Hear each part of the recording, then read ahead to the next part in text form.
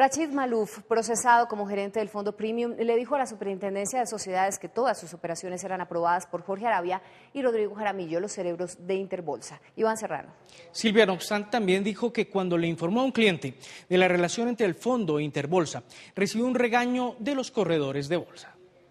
Con el anuncio de 25 nuevas imputaciones, se abre un nuevo capítulo en el descalabro de Interbolsa, cuyas pérdidas totales se estiman en 600 mil millones de pesos. En esta nueva etapa del proceso, la justicia debe esclarecer si la firma de bolsa participó en actividades de captación ilegal y masiva de dineros y si la convirtieron en pirámide de estrato 6.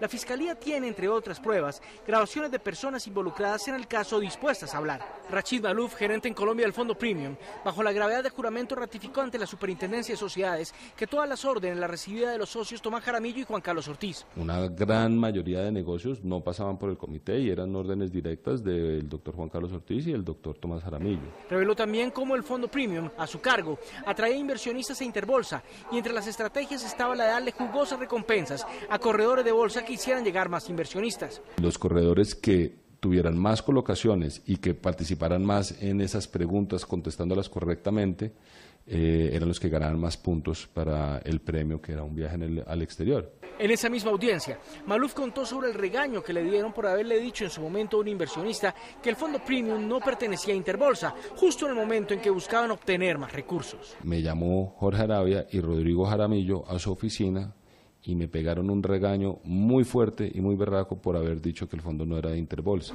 Este y otros testimonios aportados por las supersociedades hacen parte del material que analiza la Fiscalía en las investigaciones por el descalabro de Interbolsa.